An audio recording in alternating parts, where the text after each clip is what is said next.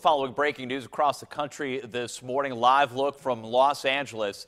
As according to the Associated Press, all schools in the Los Angeles Unified School District are closed due to an unspecified threat. The district is the second largest in the nation with about 640,000 students in more than 900 schools.